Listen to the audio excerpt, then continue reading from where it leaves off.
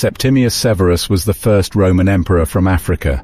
He was proud of his African heritage and is said to have spoken Latin with a North African accent. He also encouraged the development of North African cities, including his hometown of Leptis Magna, which he made into a thriving metropolis. Septimius Severus was a Roman emperor who ruled from 193 to 211 AD.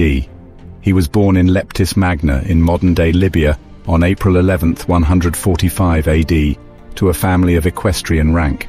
He came to power after a period of political instability known as the Year of the Five Emperors.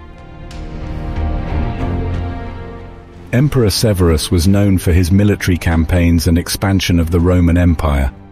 In 197 AD, he led a successful campaign against the Parthian Empire, which had been a long-standing enemy of Rome. He also led campaigns against rebellious tribes in North Africa and Britain.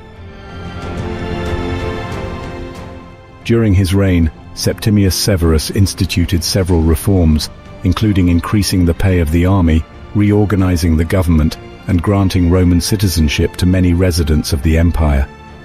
He also built several public works, including a triumphal arch in Rome and a new aqueduct.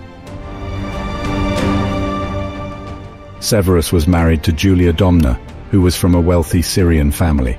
They had two sons, Caracalla and Geta, who would eventually succeed him as co-emperors.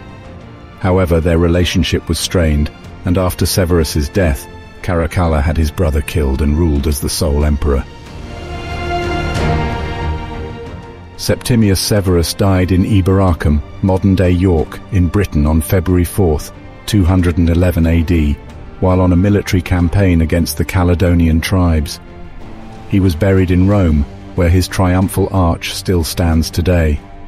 His reign marked the beginning of the Severan dynasty, which would rule Rome until 235 AD.